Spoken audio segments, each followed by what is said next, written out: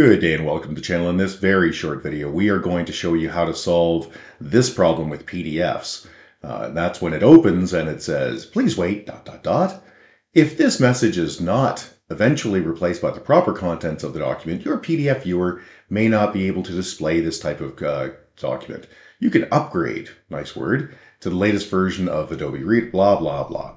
So how do you handle this? What do you do? Well, it's pretty straightforward. What it's telling you is the viewer that you have isn't uh, going to be compliant. So in my case, I'm using Microsoft Edge, but you could be using one of a hundred different tools that open uh, PDFs. What you have to do is just what it says here.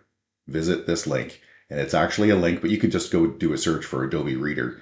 Uh, so I'll click on that link and it says, oh, download Adobe Reader. But if you didn't want to click that link for some reason, you can just search for Adobe Reader and there it is there. Get Adobe uh, Reader, click on that and download Adobe Reader.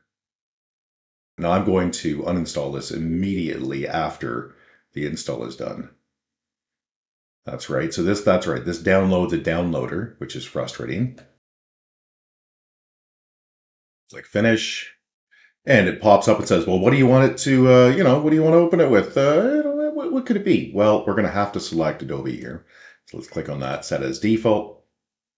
And of course, it not only launches it, it also gives you a nice page, which is obnoxious. Didn't want that. But anyway, I'll show you how to open it without setting it as the default.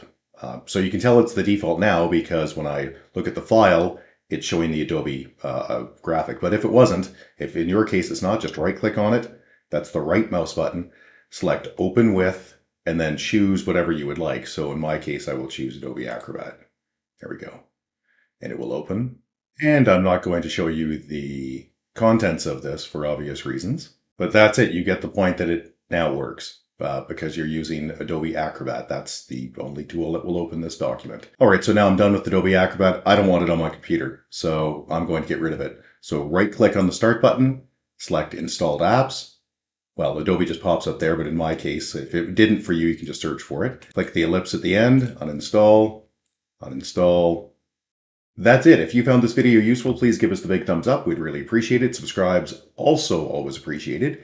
If you have any questions or concerns, you can always get a hold of us here at www.urtech.ca. That's www.urtech. Or you can always leave a question or comment below. And if we don't get back to you, somebody else will because on YouTube, everybody's got an opinion. Thanks and have a great day. Bye-bye.